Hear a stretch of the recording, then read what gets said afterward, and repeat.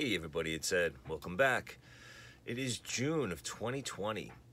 It's 50 years ago, in this month, if you walked into a record store, there's a very good chance that they would be putting this out or it would be sitting on the shelves. And it is, as you can see, it says February 1970 on stage. Elvis Presley. This was the second live album that was released, or album with live performances, I should say. Uh, where the first one was the From Elvis in Memphis, from or no, what was it? Uh, from uh, Memphis to Vegas and from Vegas to Memphis.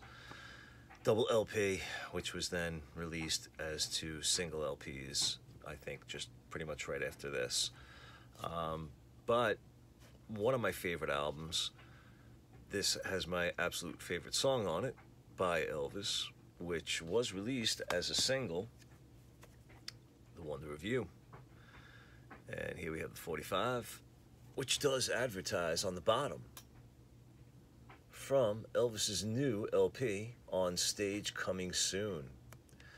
And then on the back was Mama Like the Roses, which was a song that was recorded in 1969 and um, at American Sound Studios. Mama Like the Roses and Wonder You. Bing! All right, and I also happen to have this single on the red label. What is it, Golden Standards or whatever they called it? Yes, Gold Standard uh, red label. With again, Mama Like the Roses on the back. So, this album that I initially showed, this is an original pressing from 1970, from June of 1970. Uh, has the original inner sleeve, which unfortunately is not in the greatest condition because it is split, but um, the way it looks, it presents well. And then this is on the rigid vinyl. It's not a flexi at all. And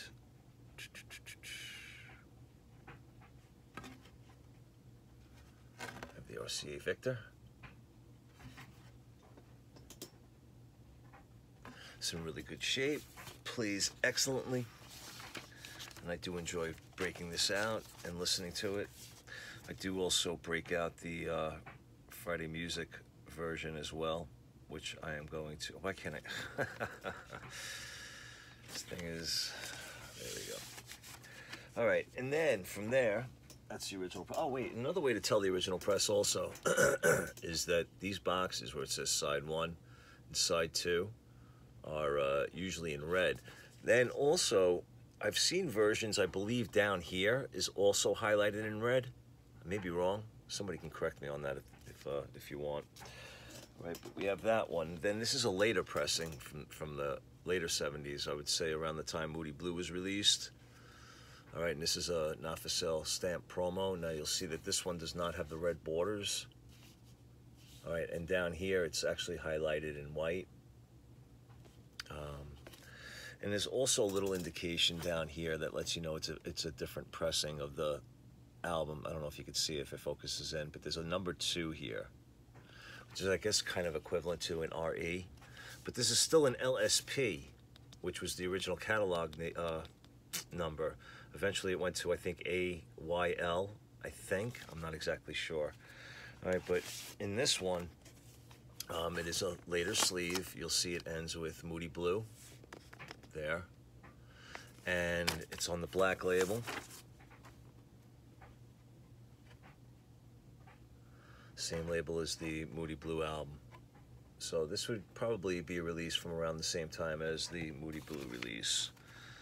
And uh, this was from a radio station. Don't exactly remember which one. I don't know if my father would remember either. He may. All right, and then this is the more recent Friday music release. This is the inner, uh, it comes a gatefold. So it shows the inner sleeve as the gatefold, and then the back has the original cover. Actually, this one doesn't have the red circle around it either. So I could be wrong on that red circle around the bottom. Uh, Friday Music One also came with a poster of the album cover.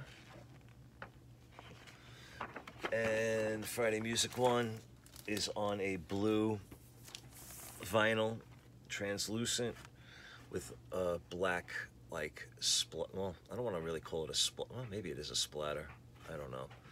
But this one, um, on the second side of the label, it just has RCA. For some reason, they left off Victor, where on the first side it says RCA and Victor. So that was a odd little omission. But from what I understand, they were all pressed like that. I don't know if they corrected it eventually.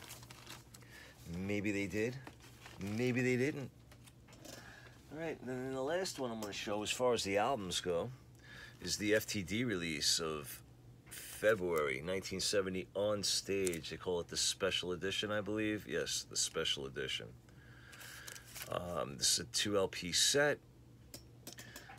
recorded around the same time as the session, uh, you know, the concerts that the album was taken from.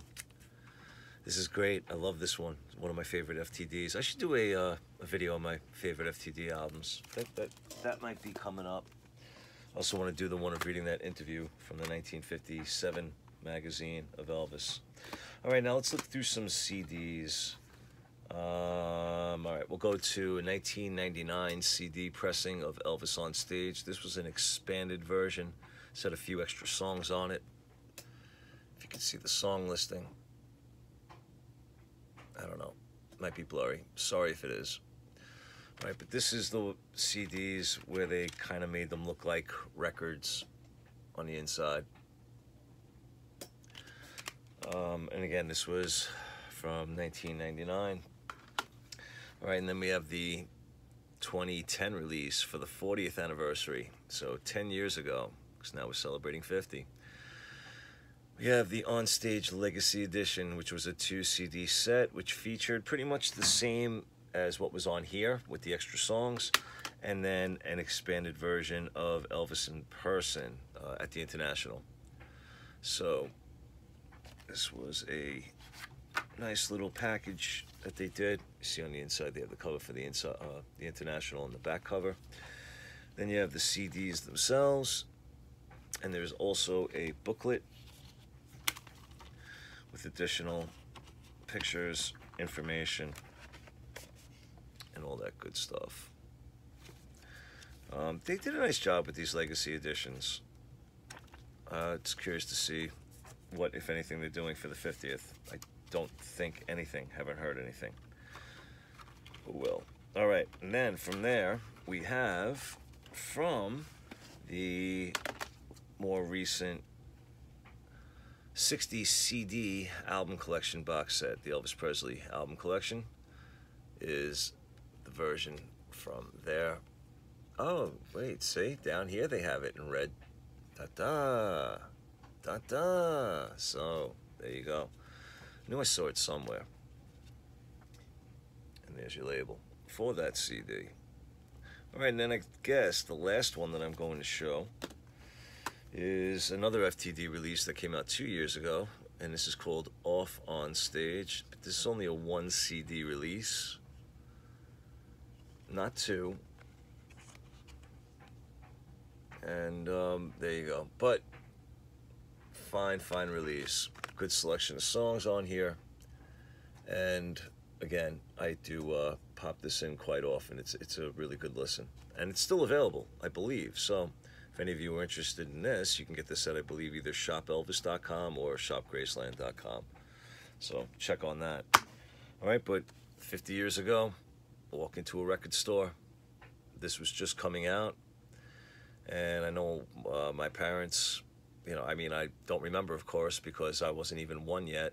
Um, so, yeah, nope, nothing I could do about that. But, yep, June 2020, 50 years ago, this came out. Love this album. Song selection, we have CC Rider, which is my opinion, I think one of the best versions. I, I just really like the grittiness of, of this version of CC Rider that's on here. Uh, Release Me, Let Me Love Again, I enjoy that as well. Sweet Caroline, can't go wrong with that. Runaway is a good version, and of course, The Wonder of You, one of my favorite Elvis songs. Polk Salad Annie is, is really good on here. Yesterday is fine. Proud Mary, I really like on here as well. Walk a Mile in My Shoes, of course, is, is phenomenal. And uh, Let It Be Me, great, great stuff.